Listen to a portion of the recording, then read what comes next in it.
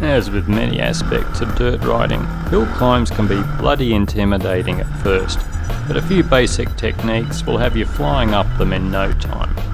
We reckon the key points are body positioning and balance, traction, momentum, looking ahead, and bike setup.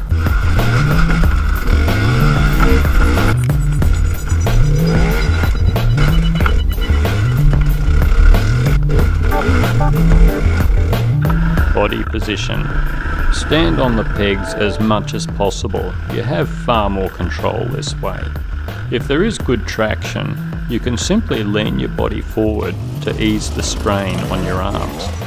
But as traction becomes an issue, you can actually use a trials technique. Lean your body back more to get weight over the rear wheel. But squat down on the foot pegs to keep your centre of gravity low and prevent wheelies. Bent legs also act as shock absorbers, which will just provide extra suspension to cope with bumps and ruts. On steep climbs, it's a careful balancing act between traction at the rear but preventing wheelies. Ideally, you'll get comfortable with the front wheel skipping along just enough to allow you some steering. You can still use your legs to keep balance while standing. Just make sure that you keep that rear wheel weighted for the best traction possible. Throttle and clutch control. One of the most common mistakes on hills is big handfuls of throttle, high revs, and lots of wheel spin. Watch the top extreme enduro riders climbing technical hills and they rarely break traction except in unusual terrain such as a hill climb through gravel where wheel spin can't be avoided. Try to ride in a higher gear and slip the clutch as needed Always have one finger on the clutch. If you need to change down a gear despite clutch slipping, do the change as quickly as possible and resist the urge to apply heaps of throttle in the lower gear and break traction. Also, get to know your bike's stall threshold. It's surprising how low particularly a two-stroke will go before it gives up.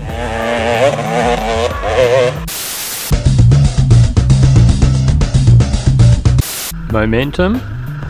It's your best friend on hill climbs. Try to get a good run up and maintain a steady pace until loss of traction means you will need to apply less throttle. Whenever there is a section of good traction or a flat bit of terrain, use this to build your speed up again for those tough bits where you'll need to back off the throttle. That looks steep. Look ahead and pick good lines. Don't fall into the trap of looking at the terrain right in front of the front wheel. Look ahead and pick the best line for climbing. If you're actually practicing on a particular hill, try walking at first as trial riders do to look for the best line and areas of traction. Bike setup Lower tyre pressures will give you a bigger footprint. 10 psi is a good figure to start with if you won't be hitting hard edges at speed, which might give you pinch punctures. If you do a lot of cross training, lower gearing will usually give you a bit more choice of gearing for hill climbs. Also, you can look at tuning your bike for extra grunt and a flatter power curve, which will always make traction easier. What about those really steep climbs?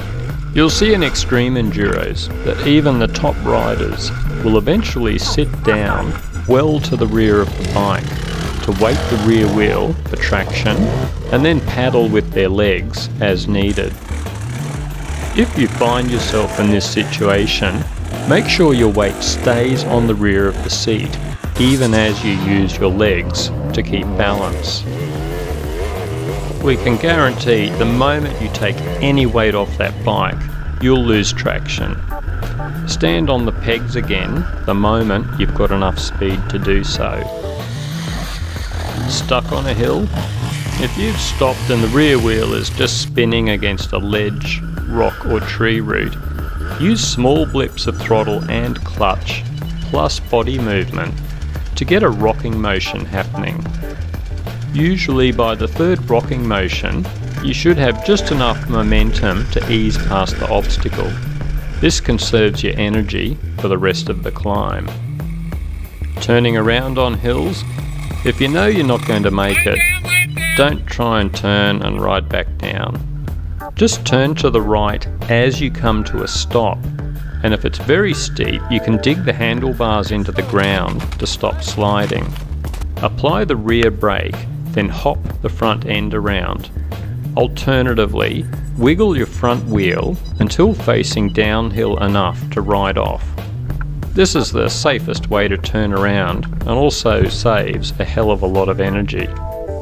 You can still use this technique if the bike has turned to the left accidentally. It just means you won't be able to apply the rear brake. Ready to challenge yourself? As you gain confidence with hill climbs, try steeper terrain and with less grippy surfaces. To test your skills, deliberately do a hill climb slowly so that you can't rely on momentum. Deliberately stop and see if you can get going again without digging a huge trench. This will really test your throttle and clutch control.